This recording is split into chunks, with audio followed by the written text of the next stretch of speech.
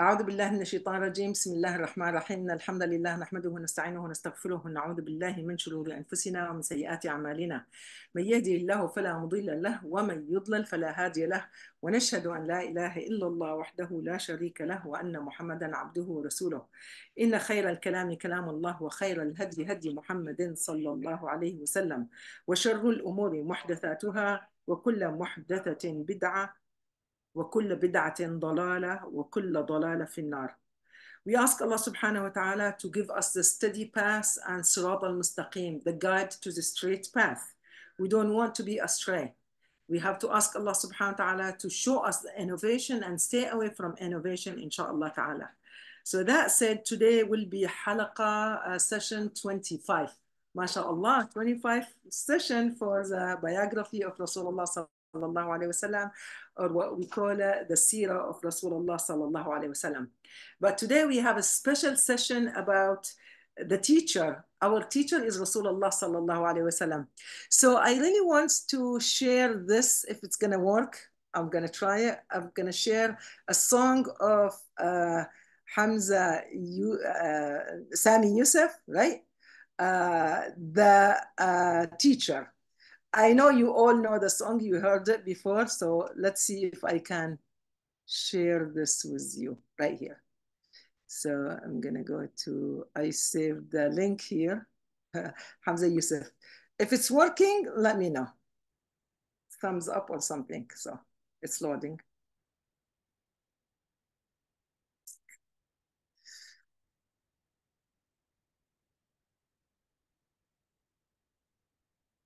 Inshallah will work.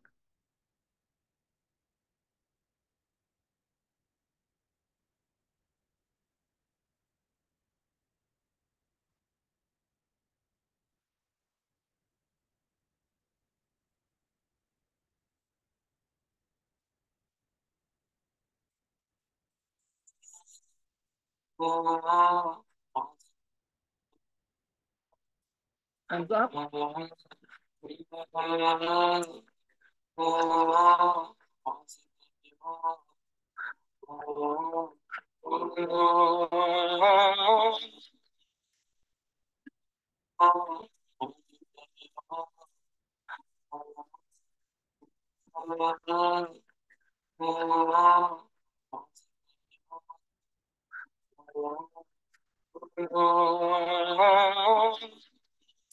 Can you hear it? Anyone give me some up? We once had a teacher, the teacher of teachers. He changed the world for the better and made us better creatures. Oh Allah, we've shamed ourselves, we've strayed from an Surely we've wronged ourselves. What will we say in front of it? Mu'allim. He was Muhammad sallallahu alayhi wa sallam. Muhammad, mercy upon mankind teacher of all mankind أبا القاسم يا حبيبي يا محمد يا شفيعي يا محمد خير خلق الله محمد. يا مصطفى يا إمام المرسلين يا مصطفى يا شفيع العالمين يا مصطفى يا إمام المرسلين يا مصطفى يا شفيع العالمين. He prayed while others slept, while others ate, he'd fast. While they would laugh, he wept until he breathed his last. His only wish was for us to be among the ones who prosper. Ya Mu'allim, peace be upon you, truly you are our teacher.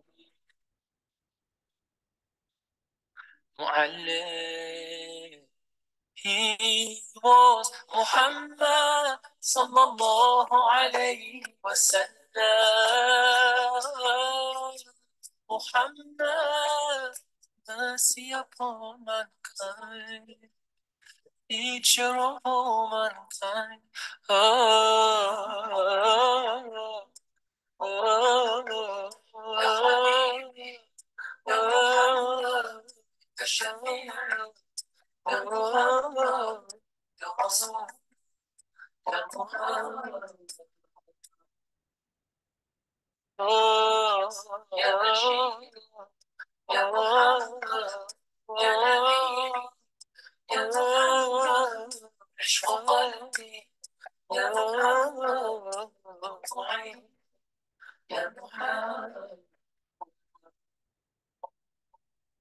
He taught us to be just and kind, and to feed the poor and hungry, help the waker and the orphan child, and to not be cruel and miserly.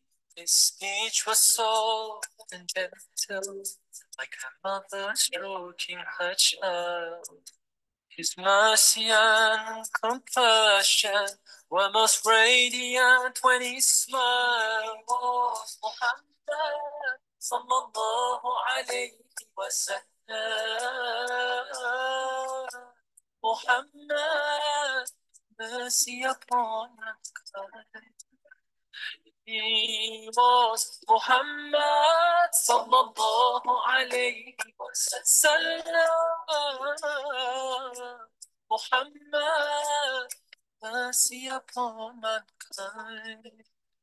Teacher of all mankind. أبا القاسم يا حبيبي يا محمد يا شفيعي يا محمد خير خلق الله محمد يا All right, that's our teacher. I heard you. I hope you heard her. Nobody raised thumb.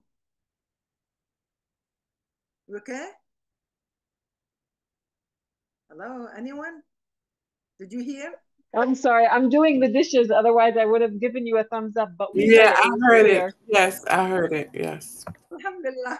Alhamdulillah. I was like, because it's the first experience to share a, a YouTube. Alhamdulillah, then you heard that. So the topic is Muhammad. Actually, Sami Yusuf's first song, his first album was this song. Uh, that's how he started to be an artist. And you know, uh, when he made the song, it, it was because of 9 11. Make me cry when I read the history about this song.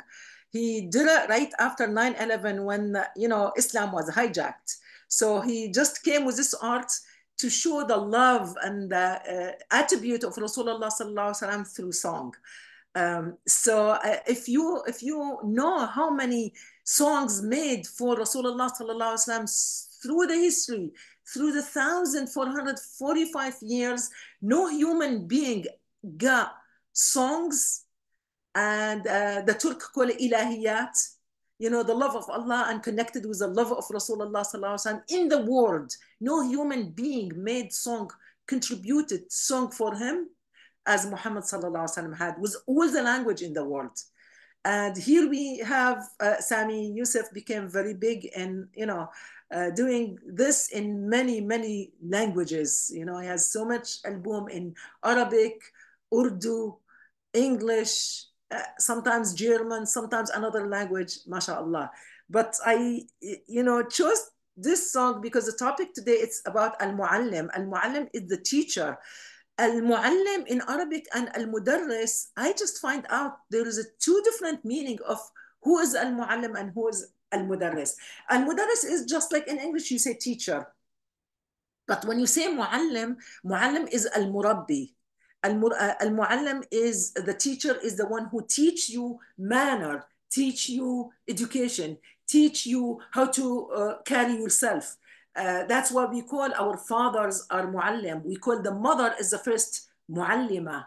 The first one who teach children are the, the mother because you start from the house. Subhanallah. So he is our muallim till we, uh, you know, uh, no, no certain age you would say I graduated from the school of Rasulullah sallallahu alaihi wasallam because he is our teacher all the time. So uh, now in this seerah, the book I'm using it to talk about the seerah, uh, it has a special section about the continuous the continuous teaching or the continuity of the education and educational and scientific uh, construction of the ummah.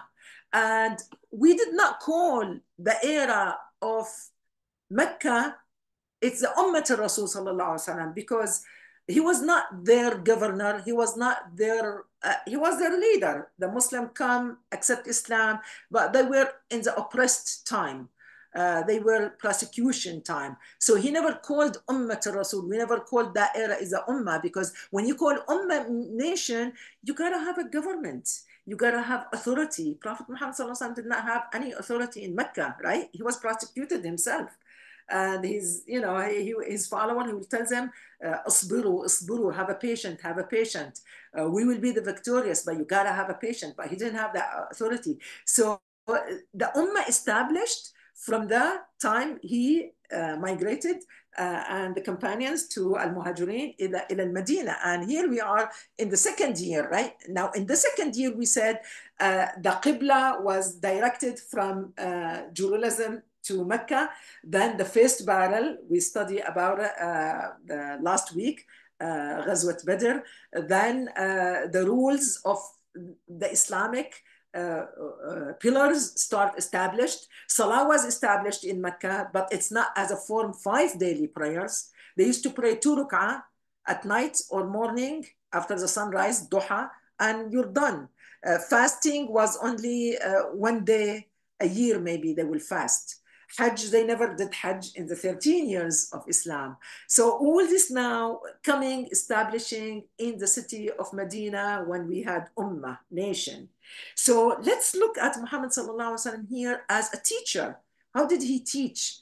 Uh, did he ask the student to sit down as we do today on a chairs or on a desk or even if it's on the floor? Bring with you a qurtasiya we call it in Arabic, books, notebook, pen, pencil that's how you learn today right? You sit down you take notes. But if he was not even a writer or he did not hold a pen how is he going to ask his student bring a pen and read right? Or write subhanallah. So let's let's read based on the seerah. How did he teach his ummah? And they became not only him our teacher but all the sahabi and sahabiyat are our teachers through this hadith through transforming the quran orally to us subhanallah so it says first of all he established and he made clear that this religion will divide people into three sections. So the first section says faith, whoever have iman is al-mu'min, al-iman, al or al-mu'minun, the one who has faith, right? And then al-kufr, the one who disbelief in him, that's the state of kufr. And the third one, we did not see this type of people in Mecca, but we saw them in Medina, what we call the hypocrisy or the hypocrite, uh, yeah, the hypocrites. So people are divided now in Medina in three different type. Subhanallah, believers who has faith, disbeliever, disbelief, uh, dis, uh, disbelievers who they uh, are disbelief, right? And the third one, the hypocrisy. They start coming, accepting Islam, joining the circle of Rasulullah sallallahu alaihi wasallam, but not from the heart, but they saw this speedy of spreading Islam and uh, so fast the Prophet ﷺ became the center of Medina. Uh, so many people joined the center, joined this leader, but they carried hate in their heart. They were jealous, but they couldn't announce it. We don't see that type of Mecca in Mecca. Why? People accepted in Mecca knowing they're gonna face consequence. The people of Quraysh will beat them up, will jail them in their house if the mom dad find out that the son is you know like uh, Mus'ab bin Umair was jailed in his house chains in his legs what would he say I am a believer knowing he's going to face that if his faith was not reside in his heart by hypocrisy no one no one accepted Islam or followed Rasulullah sallallahu alaihi wasallam footsteps in Mecca unless they were truly ready even to take the abuse from the uh, Quraysh. So all people of Quraysh, all Muhajirin, they were 100% uh, faithful. They were believer, subhanallah. Now we have that in Medina. So uh, Surah Al-Baqarah, which is Surah Madaniya, which is, we know that the surah, some of the surah are Makkiyah, revealed in Mecca, some other surah are Madaniya, re- revealed in Medina. So when you read the beginning of Surah uh, Al-Baqarah, Allah subhanahu wa ta'ala describe how, what is taqwa, uh, how your uh, faith and your iman has to be in your heart, but you have to show it in your action. If not, there is uh, people who الذين كفروا uh, they uh, announce anon- animosity, uh, especially the people of book, uh, al-Yahud who lived in city in Medina. So we're not looking at people of Damascus or people of uh, Bilad al-Sham where the Roman lived and the Arab around them, uh, tanassaru, they became Christian. Uh, they were far from uh, Medina. Uh, Islam did not reach them yet. So when we talk about people of book in the city of Medina, we know the Jew lived in Yathrib. So those people, they announced, they said, La wallah, we're not going to follow him because he's not from Bani Israel. Uh, some of them start accepting Islam. We study Abdullah, one of them, uh, you know, how he accepted Islam and his own people loved him as, uh, you know, rabbi. But when they know he accepted Islam, they said, La wallah, we're not going to follow you. Uh, you are a liar and this and that. But that's why Surah Al-Baqarah says clearly in very early ayat says, Ya ayyuhan nas rabbakum. Oh Allah, worship your Lord. الذي خلقكم. He is the one who created you. والذين من قبلكم لعلكم تتقون. So when you worship Allah subhanahu wa ta'ala, the taqwa will reside. The piety will come in your heart. So you'll take it from the heart, not from the action only. So uh, so the, the act of worship now will help you to increase your level of taqwa, your level of iman. Then Allah subhanahu wa ta'ala continuously show also in this ayat, الَّذِي جَعَلَ لَكُمْ الْأَرْضَ فِرَاشًا وَالسَّمَاءَ بِنَاءً Who is your Lord? The one who elevated the heavens, uh, the skies uh, without columns, and he made this circle, uh, sphere earth as a flat when you walk on it, and he sent you the rain, and he bring fruits from the ground فلا تجعلوا لله أندادا وأنتم تعلمون don't worship with Allah subhanahu wa ta'ala andad mean uh, don't take something else to the level to Allah subhanahu wa ta'ala and love them and uh, and uh, obey them as you obey Allah subhanahu wa ta'ala he made it وأنتم تعلمون while you know those are in Surah Al-Baqarah. Then uh, he established Rasulullah sallallahu alaihi wasallam uh, how the ayat came now. Now you have to pray five daily prayer. Uh, not only daytime, you gotta get up some at night. Do qiyam layl, do nawafil. So Allah subhanahu wa ta'ala say in Surah Al-Zumar, أَمَّنْ هُوَ قَانِتٌ أَنَاءَ اللَّيْلِ The one who get up at night and pray, which is considered also Salat al-Maghrib, Salat al-Isha, and Salat al-Fajr as night prayer also. So uh, whoever he is, who established those and they do it, do they equal ويحذر الآخرة and they're so worried about the resurrection day ويرجو رحمة ربه then they just hope for the mercy of Allah subhanahu wa ta'ala in their life. Do you think they're equal to the one who they don't know how to pray, they don't care that if they worship one God or not? Do you think those the one who have that knowledge and practice their knowledge are equal the one who ignorant and avoid those knowledge and they don't pay attention to it? هل يستوون? Allah says, وهل يستوي الذين يعلمون والذين لا يعلمون? Do you think so? Here, knowledge is becoming so important. If you someone have a knowledge, someone don't have a knowledge. Do you think they're equal by Allah subhanahu wa ta'ala? إنما يتذكر أولو الألباب. Allah subhanahu wa ta'ala says the one who will obtain the knowledge and review that knowledge and practice the knowledge, those the one that will have lub.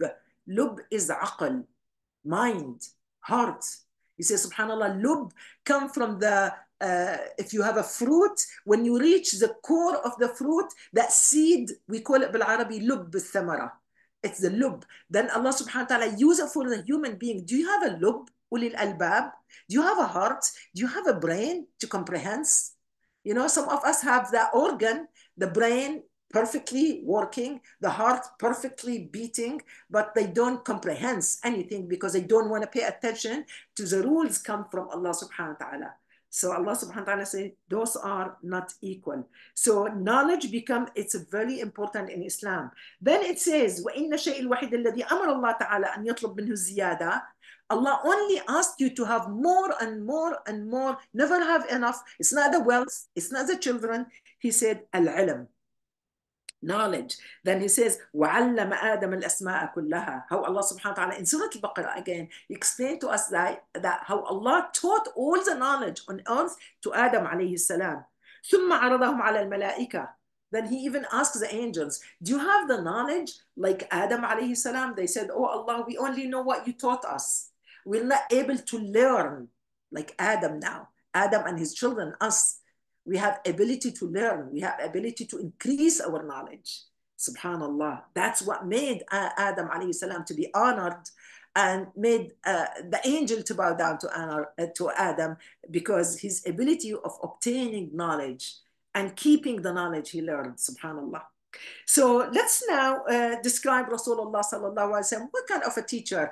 I wish I learned this earlier so I will be the best teacher in my, you know, uh, professional as a teacher. I'm retired now, but alhamdulillah, we always are student and we always are teachers also, inshallah ta'ala. So number one, uh, uh, so um, uh, Prophet Muhammad sallallahu alaihi wasallam practiced this and the companions took notes of this best teacher. Says he always did this, repeating and repeating the conversation. So if he says something, he will repeat it three times. Prophet Muhammad Why? Because he wants to make sure that people are listening carefully and learning. Again, I told you, no one sitting in his front taking notes or, you know, let me just record, go home and repeat, I can learn now. No. How do they learn? By listening carefully. And if the Prophet ﷺ did not repeat himself three times, he was worried maybe they will misunderstand what he said or what he said was not clear maybe first time. So he will repeat it and he will say it slowly for three times. This is one of his best attributes to teach. So uh, one day Aisha radiallahu anha, she said this hadith. She said, I was in my house and then a Sahabi sitting outdoor, but she can hear him. He's teaching something. He's saying something. But she said, uh, فجلس so uh, عائشة رضي الله عنها said قالت ألا يعجبك أبو فلان uh, don't you like someone's way of teaching she said فجاء فجلس إلى جانب حجرتي so he came and he sat down uh, you know behind my door so she can hear him uh, يحدث عن رسول الله صلى الله عليه وسلم he is retelling a story he heard or a hadith he heard from the Rasul صلى الله عليه وسلم okay so what she said now uh, she's listening to him but she said وكان يسمعني ذلك so he made sure that Aisha can hear but she said Aisha I'm listening but I was not free كنت أسبح I was praying nafila it's a dawn it's a duha uh, not dawn, uh, that's Fajr. Duha is like uh, after the sunrise. So she said, I was doing my nafila. فقام قبل أن أقضي سبحتي. Before I finished my two ruk'ah duha, the man said what he's going to say. And he got up and he walked away. Then she said, ah, I wish, I wish he was still there. I will tell him, that's not the way Rasulullah sallallahu alaihi wasallam would say his hadith. He will say it slowly. He will make sure people understood and heard. So what does that mean? She's teaching us how Rasulullah sallallahu used to teach his students and his companions when they come and sit. So teachers should be slow down and repeat and make sure your students understand what you said. That's number one. Number two, التأني في الكلام والفصل بين الكلمات. Prophet Muhammad sallallahu alaihi wasallam, he will second.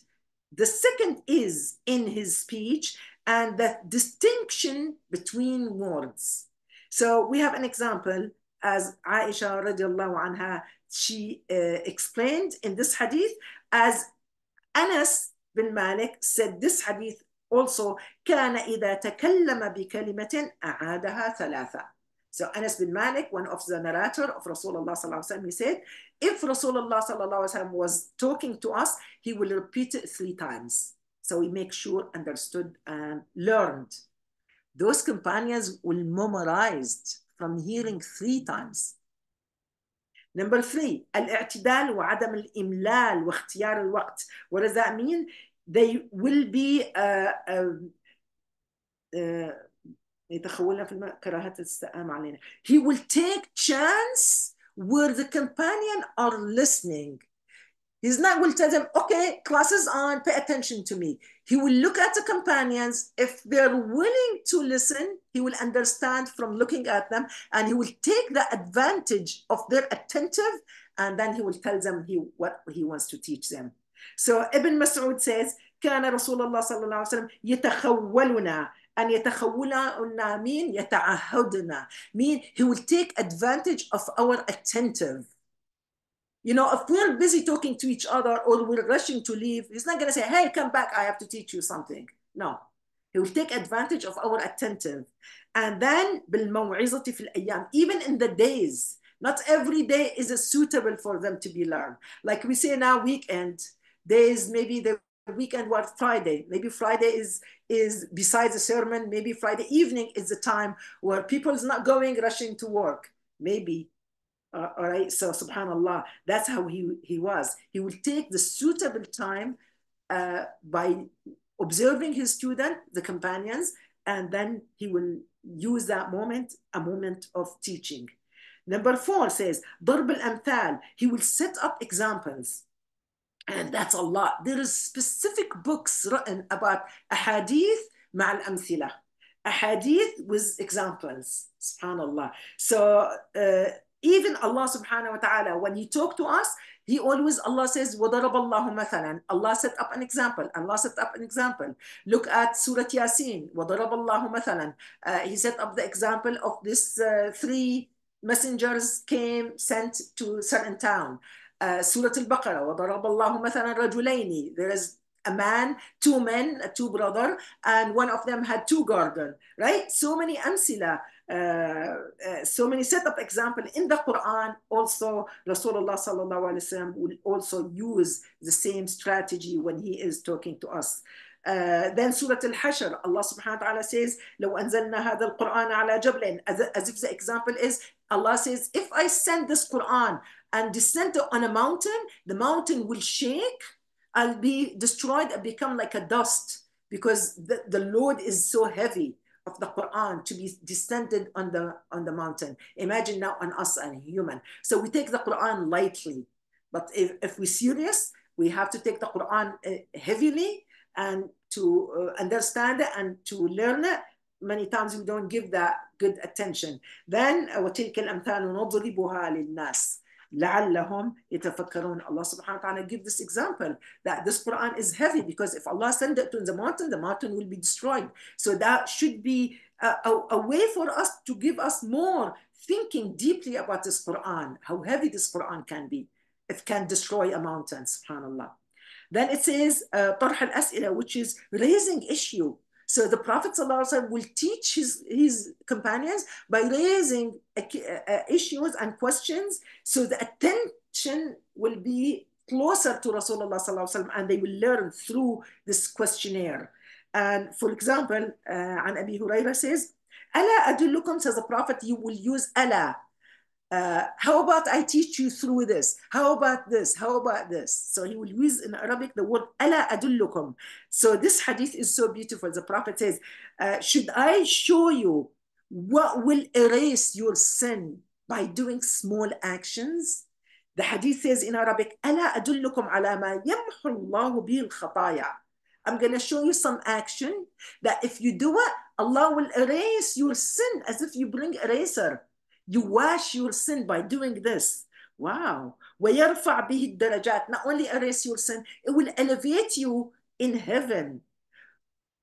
Of course, you're going to say, okay, show me. What, what's that small action I can do to uh, wash my sin and to be elevated in heaven? قالوا بلى يا رسول الله. Now all of them are ready to hear this. What a way to bring the attention. قال the prophet talking إسباغ الوضوء على المكاره look we all make ablution. We all take wudu. But how good you do this wudu? Wudu making wudu is an act of ibadah. Sometimes we look at wudu just washing something because we're going to pray. No wudu itself is an act of ibadah. Just like salat itself is act of ibadah. Subhanallah so إسباغ الوضوء على المكاره mean you wash when you wash make sure that wudu the water reach area we, where for example it's a cold and you're making wudu outside with a cold water you're gonna hate the water reach here because ooh, it's gonna give you shivering but إسباغ الوضوء mean make sure that wudu reach in an area you don't like the water to reach for example washing your face completely completely right uh, make sure between the ear to ear, from the uh, where the hair start growing, all the way to the bottom of your chin. That's your face. Same when you wash your feet, uh, the back of the feet. It's a very area those bone by the feet, where is joint your feet to the leg. so important area. So that's what إسباغ الوضوء على المكاره. That's one.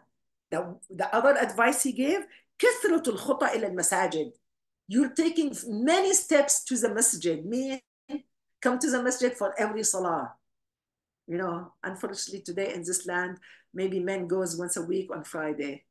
Subhanallah. Imagine now you have masajid all nearby you and you just increase of uh, taking footsteps to come to the masjid. The third things, انتظار الصلاة بعد الصلاة. You finish from Salat al-Dhuhr now, you are waiting, waiting for Salat al-Asr to come. It's not like, oh my God, I'm done with Salat al-Dhuhr. It's so good. And then you forgot when Asr came. Then, oh my God, I'm rushing because my Asr is going. Oh my God, I did not know it's Asr. No, you're waiting for the time to come in. That waiting process, you have the reward as if you are doing Salah. انتظار الصلاة في الصلاة. فذلكم الرباط. It says if you do these things, Make sure your wudu is perfected. Make sure you come a lot to the masajid. Make sure you wait for your salah with patience. These are the things equal ribat. What is a ribat, Ya Rasulullah? It says a ribat like doing jihad, like standing on the border to protect your land from the enemy. How much reward in that? We say, oh, we women, we don't do that. So we got no hasanat. No, hey, you could do other things you have the same reward. Allahu Akbar. That is really easy action. And your ajr is فَذَلِكُمُ الرِّبَاطِ He repeated it three times. And this hadith from Sahih Muslim. Subhanallah. Then uh, he gave another uh, hadith also. I'm going to use the same atadruna. He's asking a question to bring the attention. Also, this hadith is so important for us. It's learning of to listen. Uh, it's, uh, it's time to learn the lesson from Rasulullah sallallahu alaihi wasallam. This hadith also from Abi Huraira says, أن رسول الله صلى الله عليه وسلم قال, the Prophet said, أتدرون من المفلس? Do you know who's bankrupt? Who is the bankrupt? Do you know who is the bankrupt? So it's a good question. You might just say, mm. and when he asks the question, the Prophet sallallahu alaihi wasallam, he will pause as if he's expecting what, an answer from them. Uh, in this question, really, he paused, and then the companion says, قالوا, one of them said, المفلس, the bankrupt is من فينا من لا درهم له ولا متاع. The bankrupt is the one who has no property, no money, no wealth. You are bankrupt, right? Isn't it? That's in our definition also. I will say the same. فقال, but the Prophet sallallahu alaihi wasallam answered, he said, إن المفلس, the bankrupt is من أمتي from my, now he can use the word أمتي in Medina. Now he has a nation, he has a group of people listening, he has authority to talk to them. إن المفلس من أمتي from my nation that reach us and continue the upcoming Muslim, the new Muslim who did not born yet.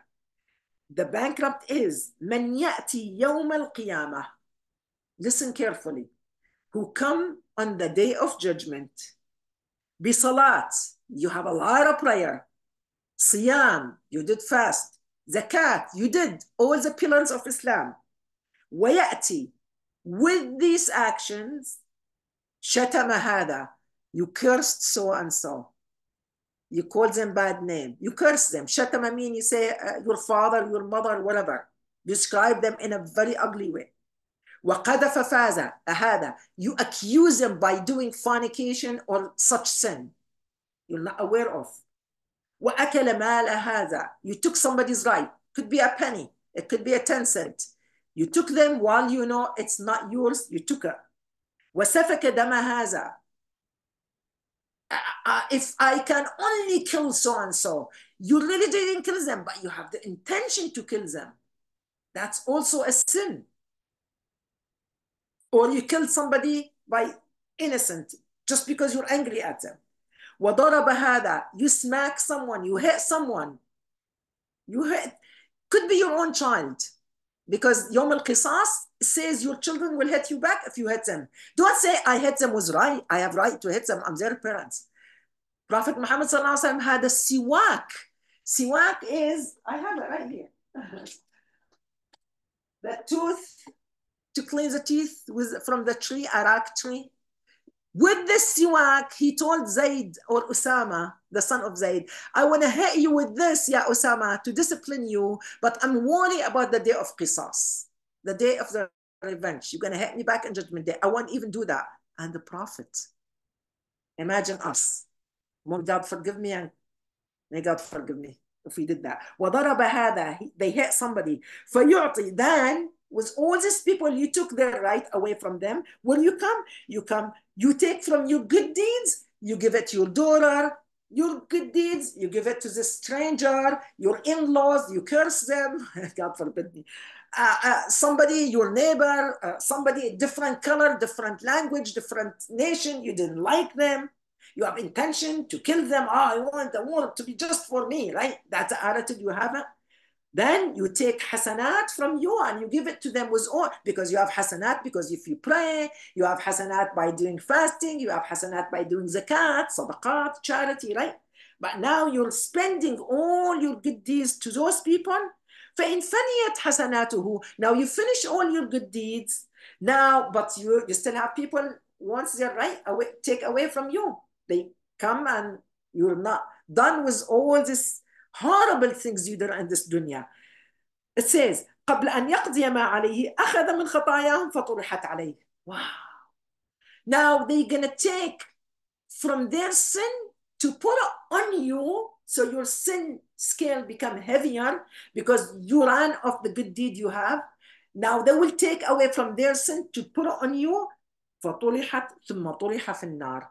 Then of course now all you have is bad deed and سيئات. then they're gonna throw you in hellfire. That's the bankrupt.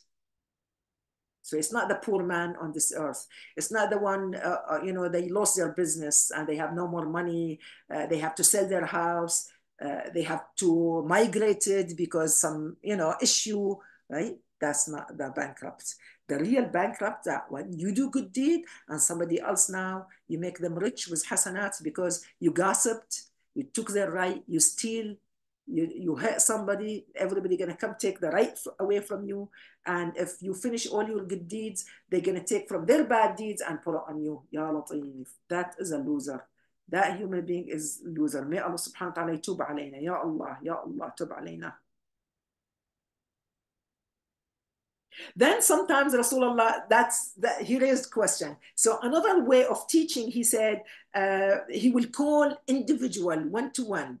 Uh, one hadith says أيها الغلام or يا غلام or young man but in this hadith he says يا أبا المنذر so uh, uh, Ubay bin Ka'b was walking with, with Rasulullah sallallahu alayhi wasallam and he called him يا أبا المنذر so he called him on his name أتدري أي آية من كتاب الله معك أعظم do you know which ayah one verse you have it you memorize it you memorized many, Ya Aba Munzir, but one of them is the greatest in the eye of Allah subhanahu wa ta'ala. Do you know which one? قلت الله ورسوله أعلم. So he answered, he said, Allah and his messengers know the best. I don't know. Then he asked him again, يا أبا منذر, أي آية من كتاب الله معك أعظم? Same question. Which ayah, which verse of ayah, it's the greatest? You know it, you know it, think. Then Abu Mindar says, قلت الله لا إله إلا هو الحي القيوم. Which ayah is that?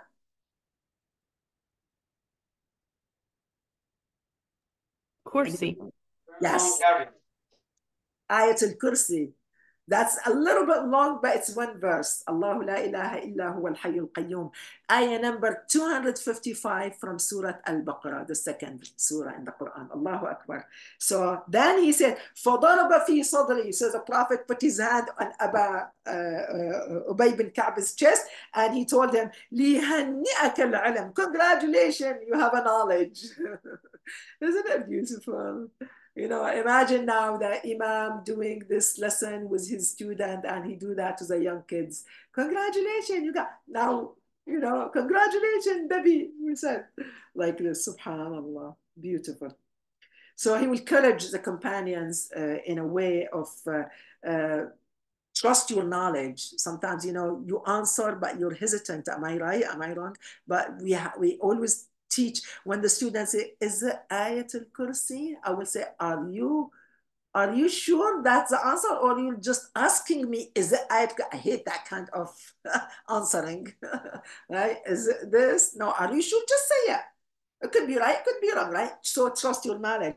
So that's how rasulullah sallallahu alaihi wasallam he will teach them to be uh, you know brave to be brave shuja Uh, another one it says uh, إلقاء المعاني الغريبة المثيرة للاهتمام والداعية إلى الاستفسار والسؤال in English it says uh, throwing strange strange uh, interesting meaning that call for inquiry and question so he will throw strange or interesting meaning uh, meanings uh, means that will bring your attention and question yourself. Inquiry bring inquiry and question to yourself. So let's see one example of rasulullah sallallahu alaihi wasallam uh, uh, based on this. It says uh, uh i'm going to see the hadith. And rasulullah who is saying rawahu jabir bin abdullah. Uh, Jabir bin Abdullah say, uh, Anna Rasulullah sallallahu alayhi wa sallam, the Prophet was passing the market. He's in the market.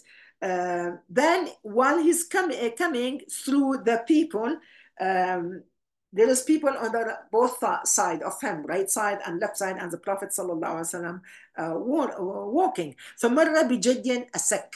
Then he saw in the market a dead goat, and not only uh, this goat, uh, this goat is dead, a sek. A sek mean uh, the ears are cut. So this is a very bad habit when the Arab, Arab, even before Islam, if they cut the ears of the animal, goat or uh, lamb, means there is something wrong in this uh, animal, livestock. So this livestock, this goat is dead, and on top of that, uh, the ears were cut. So فأخذ بأذنه. Then he touched the ears, the Prophet ﷺ. Now he's teaching in the market and he says, أيكم يحب هذا له بدرهم? Who will love to buy this goat with this ears like this? Just one dirham. One dirham is, uh, one dinar is like one dollar. Uh, dinar was the gold coin and dirham is like a hundred dirham make one.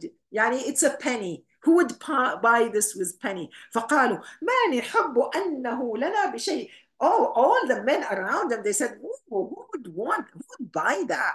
First of all, it's dead. What would we do with that? You cannot eat dead animal. Secondly, uh, a sack. I mean, the ears were cut. Something wrong indeed with this. Uh, قال أتحبون أنه لكم? Then he insists. He said, would you like to have it? Would anyone will love to have it? قالوا والله لو كان حيا كان عيبا فيه والله even if this goat was alive there's something wrong with this goat nobody wants to buy it nobody wants to have it لأنه أسك because uh, you know uh, the, the defeated shows from the ears were cut were cut فكيف وهو ميت he's dead on the top of that now he's dead فقال the prophet صلى الله عليه وسلم so he showed that how ugly and how is unwanted this dead animal even if it was live it's unwanted So the Prophet swear فقال فوالله he swear in Allah للدنيا أهون على الله من هذا عليكم والله the whole world put together in the eyes of Allah it's so belittled more than this dead animal belittled by you and we are running after this dunya collecting wealth, clothes, food, dish, wash, dishes, uh, furniture, and on and on and on. In the eyes of Allah, this is so small, it has no value. May Allah forgive us. Subhanallah, Bani Adam, you know, Allah made us we have to live does not mean get rid of everything you have and just live on the street, but don't become attached to this dunya. This dunya is so small in the eyes of Allah subhanahu wa ta'ala. This dunya is just you passing through, right? As if you sat under the tree, under the shade, take a rest, then continue your journey. So this dunya is our rest. We're going to continue this journey. The biggest journey is the resurrection day, when where there is no more death ahead of us. But in this dunya, we're gonna die. We're gonna die. So that's one way, right? Uh, of his way he, he will teach. Uh, that's why the, the hadith are so engraved, engraved in their brain. The companions, when they tell us word by word, they learned from Rasulullah sallallahu. Uh, one another way says استخدام الوسائل التوضيحية which is as if a teacher in the classroom unless you use uh, tools uh, you know, to explain, for example, if I want to keep telling the student use a ruler, uh, they have to know what is ruler. I have to hold it. I have to explain to them. I have to say uh, the numbers in centimeter or in inch. Then the student will know, yeah, this is a tool, I'm using it. So he will illustrative meaning. He will use illustrative meaning. That's what wasa'il tawdihiyya is. Let's see uh, one of his ways.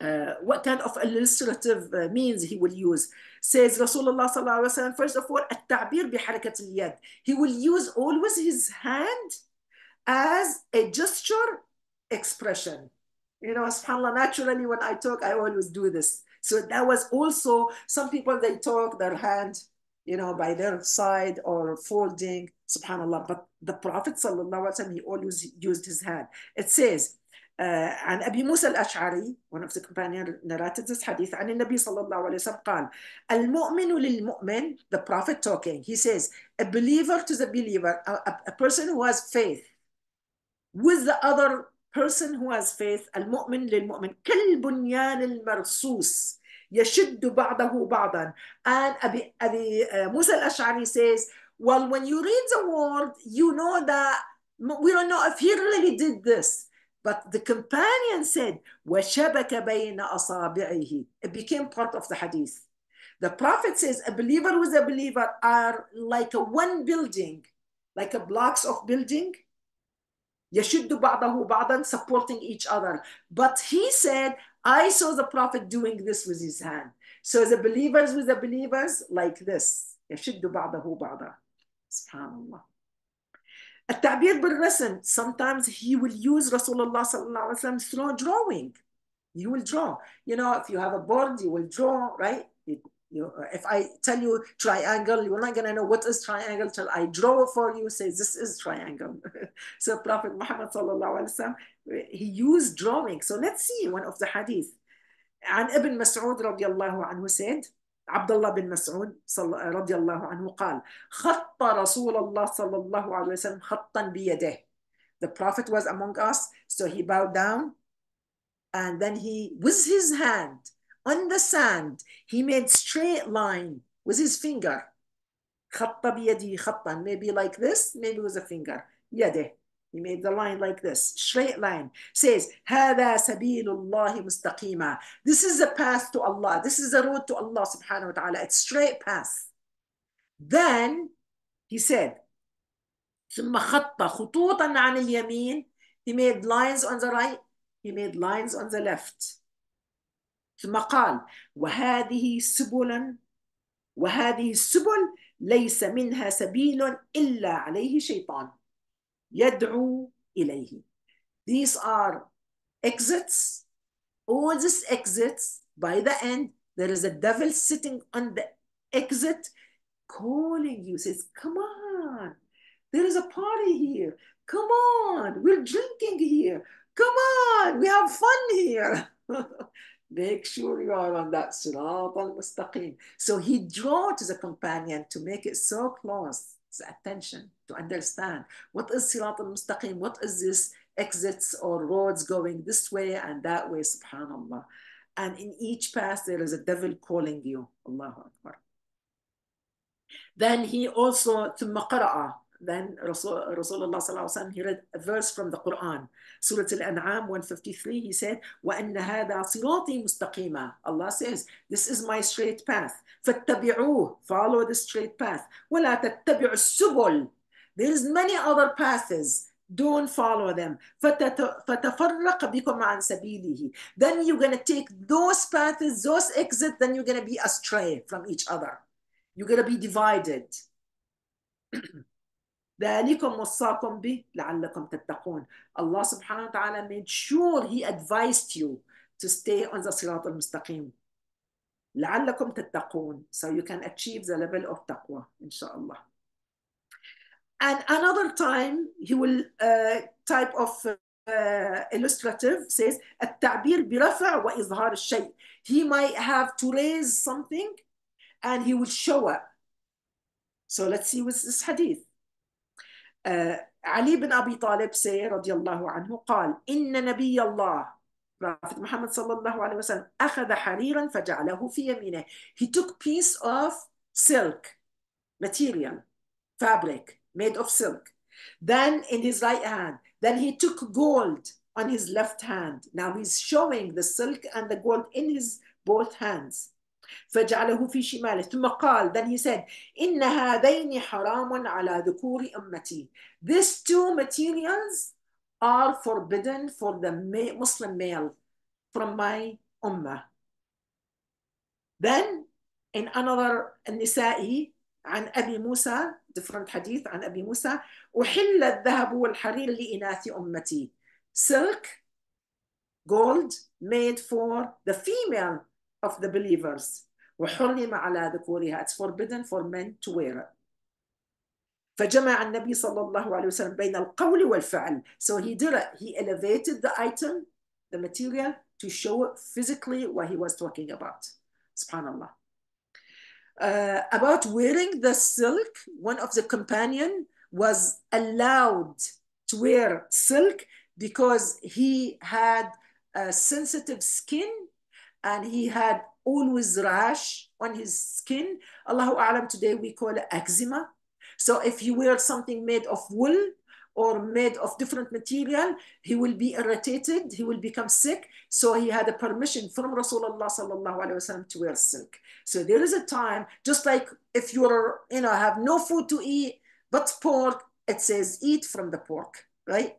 To, to fulfill your hunger if you're reaching a, a, a moment that you cannot help and but pork is available subhanallah. So uh, that's there is exception sometimes. It's based on the on, on the nature of the men uh, health. But there is manufactured silk that's not considered pure silk also. Many times you know you could have a shirt for your husband or you see it uh, may, maybe blended with silk but it's not the pure silk pure silk are different wallahu a'lam then it says التعليم العملي بفعل الشيء. Then he will teach by a practical education.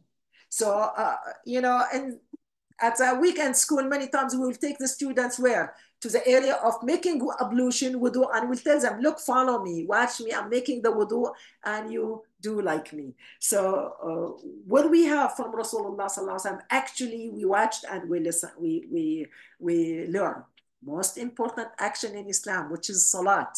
Look how salat was established. Uh, كما فعل عندما صعد رسول الله صلى الله عليه وسلم المنبر فصلى بحيث يراه الناس أجمعون. He climbed the minbar. Minbar is like now, let's say someone go three steps and you're on the theater. Uh, so people who's going to show something, you know, you go to showcase, they're in above the level where everybody's sitting because maybe somebody shorter than me sitting behind. They can't see, right? So they made the minbar. Actually, the idea of the minbar came from a woman, a sahabiya. She said, Ya Rasulullah, if you just elevate yourself few steps, and then you stand there, we can't see you because we can't see you when you talk or when you do something. And the idea of the minbar was established back then. So the Prophet climbed the minbar and then he stood facing Al Qibla and he did Salah. But look what he did. فاستقبل القبلة وكبر. He raised his hand, people watching him from his back. How he did his takbira, where he put his hand. Then he they looked at him where he put his hand. وقام الناس خلفه. People stood and they did, watching Rasulullah صلى الله عليه وسلم, copying him how they do it. فقرأ, he read, وركع, then he did ركوع. They, وركع الناس خلفه. People bowed down, they did ركوع right behind him. ثم رفع رأسه. He stood after the ركوع. You have the قيام. ثم رجع القهقري.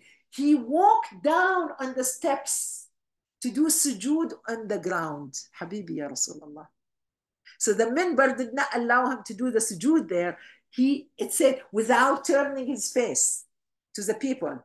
So he's doing actual salah. So if you are doing salah, you can, if you have to move up front or back, do not bring your face away from the qibla. Like let's say you're looking after your child crying. Once you turn your face or your body away from the qibla, you broke your salah. Right now here, Rasulullah says, رجع القهقري mean he stepped back فسجد على الأرض he prostrate, prostrated he put his forehead on the ground ثم عاد إلى المنبر people did like him then he climbed he went back to the منبر ثم قرأ he read he did ركوع like this for two ركعة and he did the sujood the same way فقال when he finished he said أيها الناس all people إنما صنعت هذا لتأتموا بي I showed you this exactly so you can pray like me. So the hadith says, صلوا كما رأيتموني أصلي. Pray the way you saw me praying. And based on this, the, major, the jamhur, the jama'ah says, you have to pray men and women the way Rasulullah sallallahu alayhi wasallam pray. So there is no difference between men how they pray, women how they pray. Some madhahib, they make a little slight distinguishing, distinguish between the woman and the men. But the majority, they say, no, we all have to pray the way Rasulullah sallallahu alayhi wasallam based on this hadith. وَلِتَعْلَمُوا صَلَاتِي This way you know how to salah. So establishing, and the Prophet himself, when he came to uh, Isra wal Mi'raj, remember, we went through that. When he came around you know, Al-Isra, during the Isra, Jibril stopped in the desert. He made wudu. The Prophet watched him. Then the Prophet made wudu. Then Jibril alayhi salam did salah and the Prophet watched him. Then Rasulullah sallallahu alaihi wasallam learned how to do salah directly from Jibril. So we are directly learning from Jibril alayhi salam. Allahu Akbar. Then he said, استعمال العبارات اللطيفة والرقيقة he will use kind and gentle words when he talked to the people. He was not, uh, he will never shout, he will never select bad words to talk to people.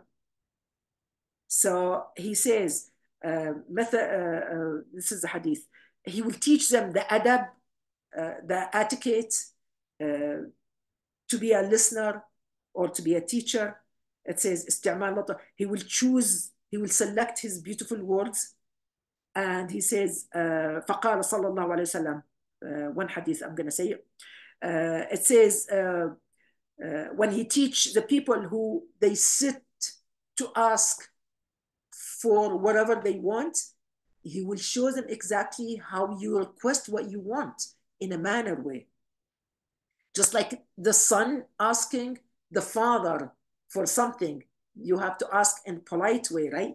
So he says, uh, فقال صلى الله عليه وسلم إنما أنا لكم بمن بمنزلة الوالد I am to you like the father. I think this are many talk like this about Isa alayhi salam when he was teaching. He will tell them the father, I am the father. So here you go. in Arabic, father is al-walid.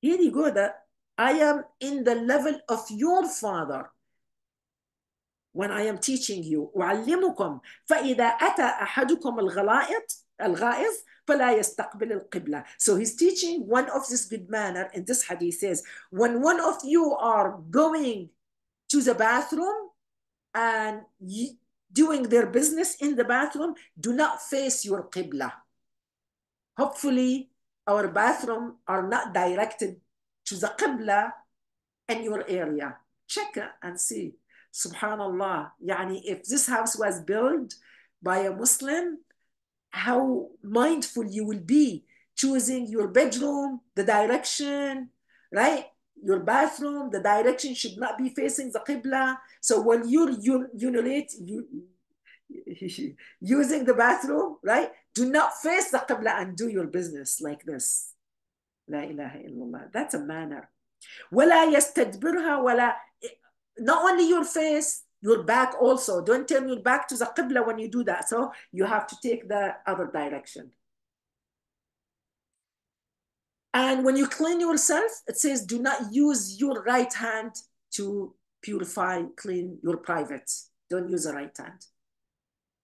And after this hadith heard by Uthman, it says Uthman radiallahu anhu never used his right hand to touch his private ever in his life till he died. Allahu Akbar. Adaban.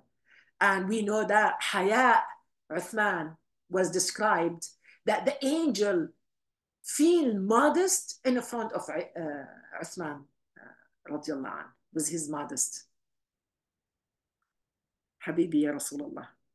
Then uh, and another one says تشجيع المحسن وثناء عليه. He will say, he will encourage uh, uh, and uh, praise the benef- benef- benefactors. Uh, he will encourage and praise the people who do good things. He will not just ignore them. He will recognize them. Says, um, um, فعن أبي موسى أبي موسى الأشعري uh, by the way when he recites Quran he has a beautiful voice it says رضي الله عنه أن النبي صلى الله عليه وسلم قال Prophet Muhammad صلى الله عليه وسلم one day he told him لو رأيتني وأنا أسمع لقراءتك البارحة لقد أوتيت مزمارا من مزامير أبي داود so he said يا أبي موسى if you only saw me watch, watching and listening to you when you were reciting Quran. You did not know I was there. I was listening to you, Ya Abi Musa. But he's praising him. He said, What a beautiful voice you have. You have one of the part of the voice of Dawood alayhi salam, knowing that Dawood has a most beautiful voice on this earth. He said, لقد أوتيت مزمارا من مزامير آل داود. And Abi Musa al-Ash'ari said back then, part of the hadith, he said, Oh, Ya Rasulullah, only if I know that you were listening, I will even make my voice more beautiful than what I was doing back then. So if you see something, if you hear something right, good, praise it, recognize right? That's a way of teaching, just like talking to your kids, subhanAllah. These are companions. So sometimes, you know, sister to sister, family to family, we really ignore stuff like that. You know, only if you tell somebody, wow, what a beautiful, oh my God, I love the, the way you do it. We think like, uh, yeah, we're too, we're grown up people. We don't do that to each other. But imagine the Prophet Sallallahu he would do it to his companion. Abi Musa al-Ash'ari is not a kid. He's a man. Subhanallah. Then he will use also ishfaq ala al He will have compassionate toward the wrongdoers and not, not debunking them. So if somebody make mistakes, you just don't, you know, shout on them. Let's see how we use. Let's see if there's hadith here.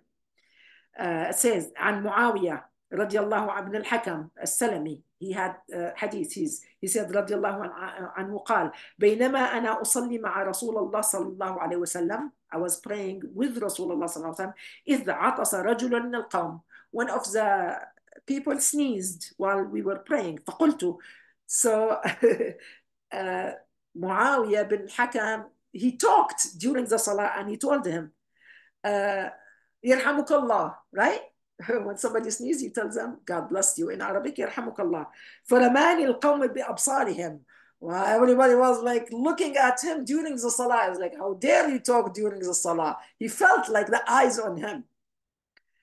Uh, then uh, فقلت وثكل أمياه ما شأنكم تنظرون إلي he kept talking during the salah what's wrong with you guys why do you keep looking at me what wrong I did what did I do wrong فجعلوا يضربون بأيديهم على أفخاذهم they're doing this it's like like a sign it's like doing this يضربون أيديهم بأفخاذهم فلما رأيتهم يصمت يصمتونني he understood that they're telling him shut up you cannot talk during the salah finally he shut he shut up his mouth فلما صلى رسول الله صلى الله عليه وسلم the prophet finished praying and everybody finished praying فبأبي هو وأمي now he's talking about the prophet how lovely he was to him how kind he was to him he thought he's gonna get smacked from Rasulullah صلى الله عليه وسلم by all the mistake he made ما رأيت معلما قبله ولا بعده I never seen a teacher like him before or after ولا بعده أحسن تعليما فوالله he swear this uh, صحابي معاوية he said فوالله ما كهرني he did not broke my heart ولا ضربني he did not hit me ولا شمتني شتمني he didn't even told me were you stupid you're talking during the salah he didn't even say that but the prophet said إن هذه الصلاة لا يصلح فيها شيء من كلام الناس during the salah nothing is accepted as a conversation between people as you do it outside the salah إنما هو صلاة is تسبيح تكبير قراءة قرآن simple during the salah we all learn you just read Quran you do tasbih سبحان العظيم سبحان الله we don't talk you don't answer the phone while you صلي you don't text when you do صلي today we have technology right I want to tell you what I saw one of the Taraweeh a woman next to me we're doing Taraweeh the phone is next to her feet. I am next to her. And the phone ring during the Taraweeh.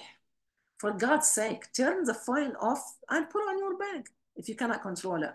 Wallahi, with her toe, she clipped, it's a WhatsApp call. She pushed the button and she's telling him with her head is like, watch me, I'm during the salah. Then she closed it what I'm going to tell this older woman when we finish the salah, I didn't say anything. I could not say anything. How could you do that during the salah? Yani you didn't talk, but you're standing, the phone next to you on the ground, and she answered it with her toe. And the picture, I, am next to her. I see her. Yani subhanAllah, she disturbed me. I see her.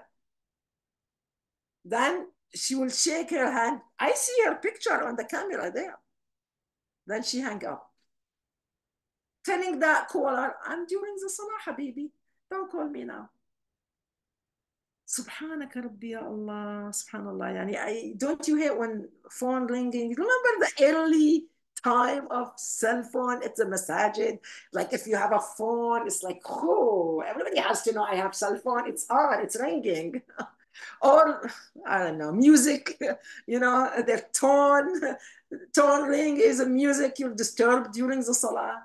May Allah forgive us, you know. Or during the khutbah al-jum'ah, people, you know, I told the other day, this lady next to me also, during the khutbah, she's answering, serving like this, like this, doing with the phone. She's next to me.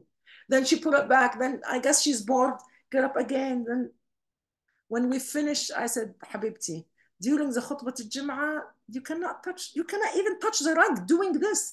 It says, if you put your finger on the sand, because they pray without rug in the Masjid al-Rasul sallallahu alaihi wasallam, city of Medina, they didn't have rug, they didn't have mats. They prayed right on the top of the sand. It says if you during the imam the, uh, doing the khutbah, if you play with the sand like this with your finger, faqad lagawt. You broke your salah. A sister was next to me doing that. I'm giving you this example because it's a common mistake during Salat Tarawih, it was, you know, Salat Tarawih is longer, I guess. Uh, during the Salah, she was uh, uh, coughing, right? She up, picked up the bottle water, open it, drink the water, close it, and finish the Salah. Well, this time I had the option to turn al habibti. During the salah, we don't drink, we don't eat, we don't chew gum. we, we cannot have candy in our mouth. She said, I was choking. I said, okay, break your salah and drink.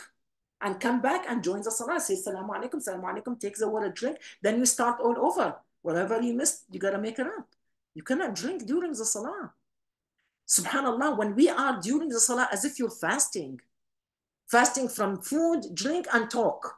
You cannot make, uh, uh, hello, I'm doing salah, hey, I'm in the second ruk'ah now. You cannot do that. Subhanallah. So, but the Prophet, you got to be sensitive, you know. Some, some they don't have that sensitivity, but the Prophet, he taught in a very beautiful manner that you cannot even tell somebody uh. That's why it says when you enter Salatul Khutbah, Salatul Jum'ah, and the Imam on the member doing khutbah, you're not allowed to say Salamu Alaikum. Because when you say Salamu Alaikum now, so many ignorant people, they're going to say Wa Alaikum Salam. And some of them even give you hugs and kisses. You broke your khutbah, you broke their, uh, uh, so, sorry, you broke their salah and you broke your intention by entering khutbah al-Jum'ah. Subhanallah. Then it says عدم التصريح والاكتفاء بالتعريض فيما يذم says failure to make statement and merely exposing what is uh, reprehensible. So if you see something wrong, don't just say it, address it in an ugly manner. Uh, so uh, let's see if there's hadith here. So to learn from it.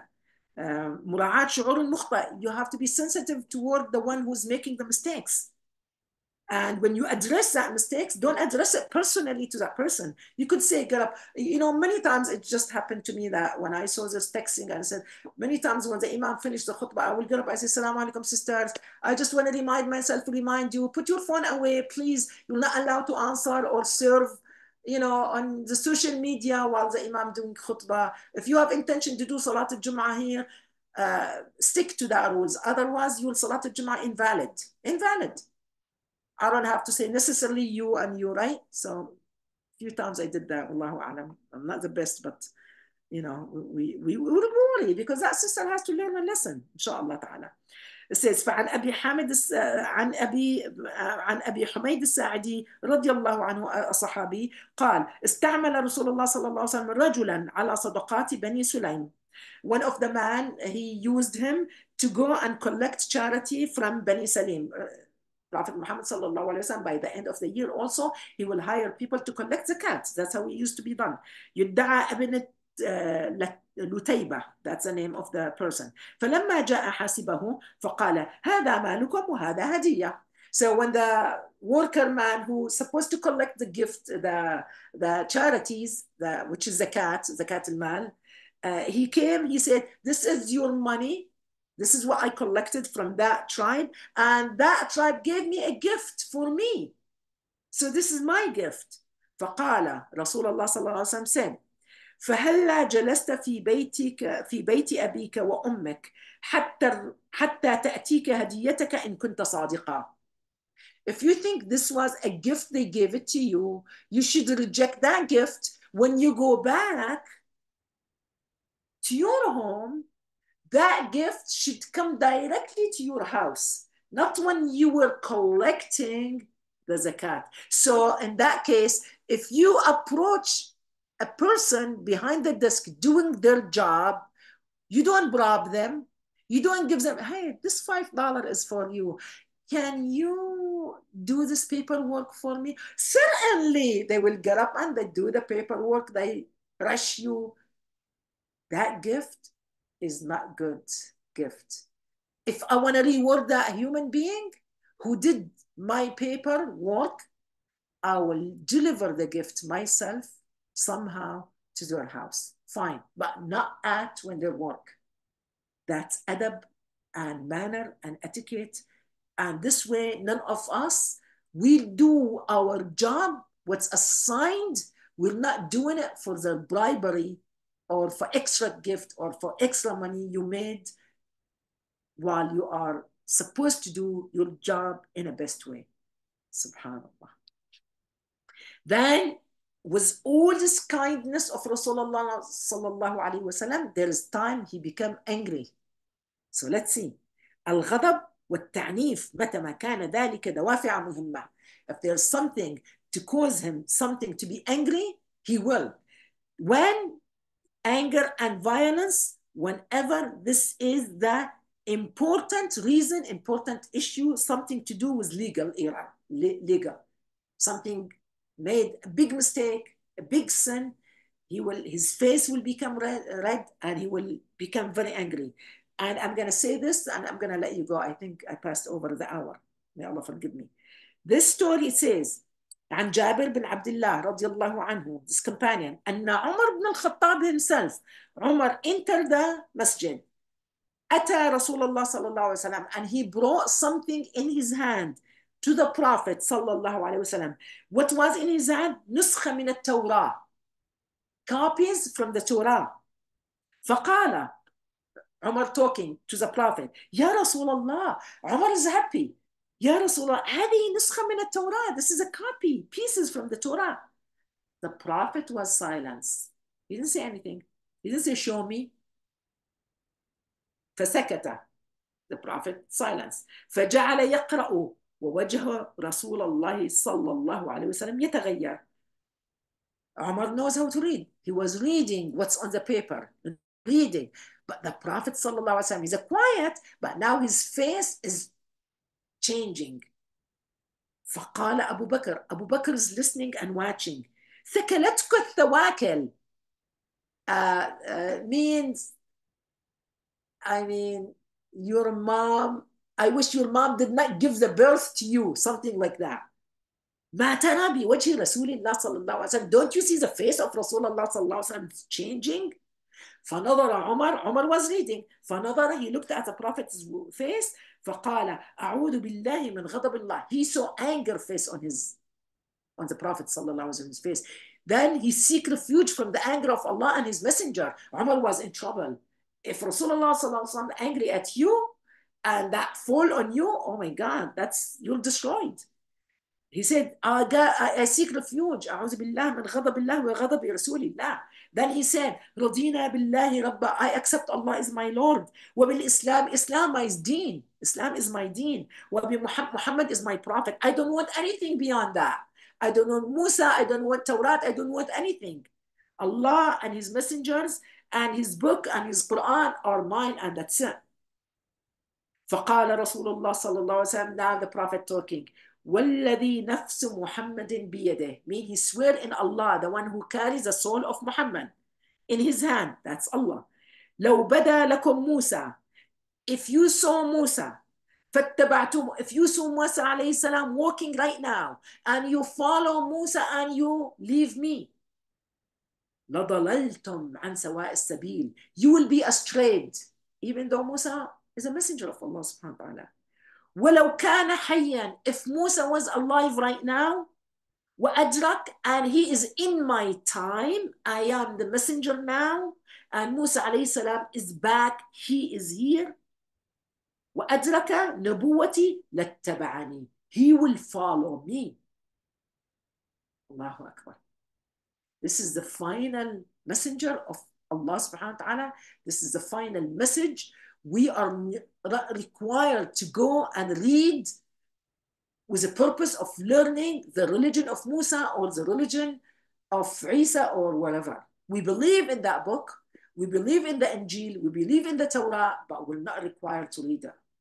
True or false, whatever exists, if you're reading for a different purpose, that's different.